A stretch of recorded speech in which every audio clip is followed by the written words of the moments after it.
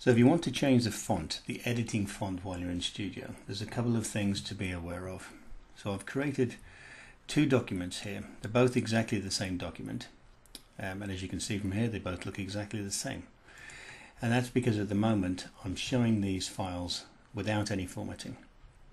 It's important to note that and I'll explain why in a second.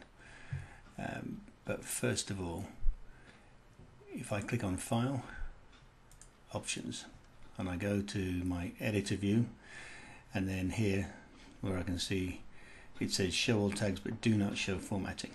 That's the view I'm in at the moment. So anything that any formatting that might have been applied to the original font in the file is not going to make any difference because I'm not showing it while I'm using this mode. And I now click on font adaptation. And this gives me the ability to set a custom font. So if I come down here you can see down here on the bottom right I'm translating into German. So if I go down and find the German language, German Germany I want, down here, and you can see I've changed this font from the default to Bradley Hand ITC. And when I open this file and I start typing it here, you can see I'm now typing in Bradley Hand ITC. And if I come over to this document, in here, I'm also typing it there. So that's worked and that has allowed me to change the font. If you don't see it immediately, just try closing the file after you've set it and open it up again and you'll probably be alright. Now if I go to File, Options, and I come back to my editor and I change the display so I'm showing all the formatting this time, which is different to what I was before, and click on OK. So you can see now, in this one I've got some fonts set in this document I didn't set a font. So this is just a native, just typing straight into a Word file. I haven't applied a font.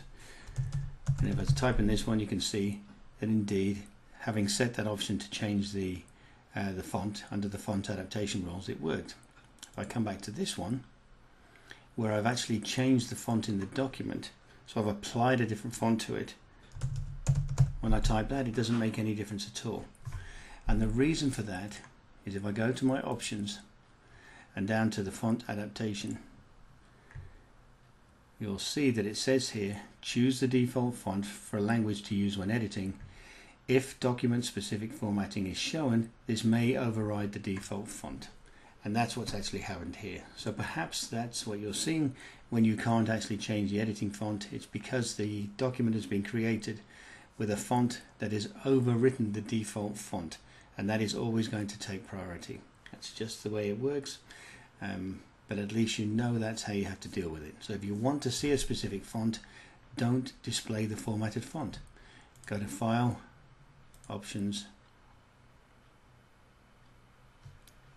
Editor, and don't show all formatting. See, show all tags, but do not show formatting. And then you'll be fine. You'll always be able to see the font that you set for editing. And actually, if that's what you want, a specific font for editing, you don't want to see the font that's in the document anyway, or the formatting, because you've obviously chosen to work in a way that is clearer to your eyes. So that's the way you do it. I hope that's clear and it's easily understood.